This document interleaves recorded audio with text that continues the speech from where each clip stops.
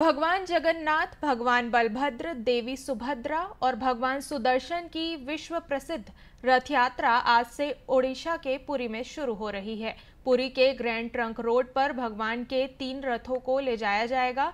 राष्ट्रपति द्रौपदी मुर्मू इस वार्षिक उत्सव में शामिल होने के लिए पुरी पहुँच चुकी है। रथों को श्री जगन्नाथ मंदिर के सिंह द्वार के सामने रखा गया है और श्री गुंडीचा मंदिर ले जाने के लिए तैयार हैं, जहाँ पर वे एक सप्ताह तक रहेंगे। राष्ट्रपति ने सोशल मीडिया पोस्ट में कहा है कि भगवान जगन्नाथ के देश और विदेश के अनगिनत श्रद्धालु रथ पर सवार भगवान के तीनों रूपों को देखने की बड़ी उत्सुकता से प्रतीक्षा कर रहे हैं। राष्ट्रपति ने भगवान जगन्नाथ से सभी की प्रसन्नता, शांति और संपन्नता की कामना की।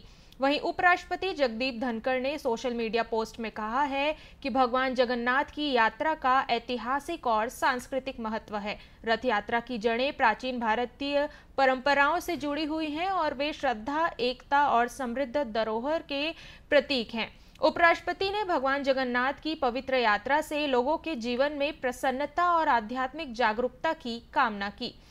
प्रधानमंत्री नरेंद्र मोदी ने भी सोशल मीडिया पोस्ट में भगवान जगन्नाथ के प्रति सम्मान व्यक्त किया और कामना की कि उनकी कृपा देश पर सदैव बनी रहे। भगवान जगन्नाथ जी की रथ यात्रा देश के कई भागों में बहुत ही श्रद्धा और उल्लास पूर्वक देशवासी मनाते हैं। बहुत कम लोगों को पता होगा, अंग्रेज़ी भाषा में एक शब्द है जगरनाथ और उसका मतलब होता है, ऐसा भव्य रथ जिसे कोई रोक नहीं सकता। और इस जगर नोट का डिक्शनरी मीनिंग में भी ये पाया जाता है कि जगन्नाथ के रथ के साथ में से ही ये शब्द का उद्भव हुआ है। और इसलिए हम समझ सकते हैं कि दुनिया ने भी जगन्नाथ इस यात्रा को अपने अपने तरीके से किस प्रकार से महात्मा स्वीकार किया है। जगन्नाथ जी भगवान गरीबों के देवता और उनका पूरा पूजन, अर्चन, कार्यभार गरीब तबके के लोगों के साथ एक आत्मीयता का नाता जोड़ने वाला भगवान जगन्नाथ के महाप्रसाद से, सदियों से कितने ही गरीबों को भोजन मिलता रहा। इसी भावना के साथ आज देश जन सेवा ही प्रभु सेवा की सांस्कृतिक सोच से आगे बढ़ रहा है। जैसे तीर्थ, जगन्नाथ मंदिर जैसे पवित्र स्थान, इसके केंद्र रहे। मैं सभी देशवासियों को शुभकामनाएँ देता हूँ। और भगवान जगन्नाथ जी के श्री चरणों में प्रणाम देता भी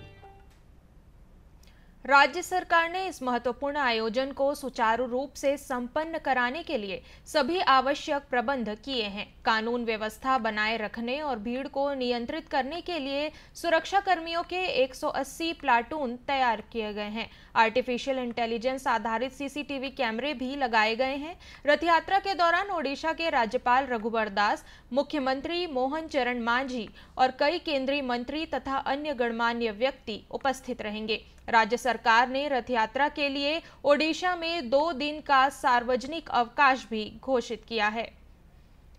छत्तीसगढ़ की राजधानी रायपुर में भी रथ यात्रा का पर्व धूमधाम से मनाया जा रहा है। मुख्यमंत्री विष्णुदेव साय राजधानी रायपुर के गायत्री नगर स्थित जगन्नाथ मंदिर में आयोजित रथ यात्रा में शामिल हुए। रथ यात्रा शुरू करने से पहले भगवान की प्रतिमा को रथ तक लाया गया और रास्ते को सोने के झाड़ू से साफ़ भी किया गया।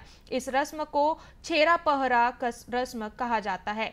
इस मौके पर मुख्यमंत्री विष्णुदेव साय ने प्रदेशवासियों को रथ यात्रा की बधाई देते हुए कहा कि यह पर्व ओडिशा के लिए जितना बड़ा उत्सव है, उतना ही बड़ा छत्तीसगढ़ के लिए भी है। महाप्रभु जगन्नाथ जितने ओडिशा के लोगों को प्रिय हैं, उतने ही छत्तीसगढ़ के लोगों को भी प्रिय हैं और उनकी जितनी कृपा ओडिशा पर रही है, उतनी ही छत्तीसगढ़ पर भी है। श्री साय ने कहा कि भगवान जगन्नाथ किसानों के रक्षक हैं और उन्हीं की कृपा से बारिश होती है।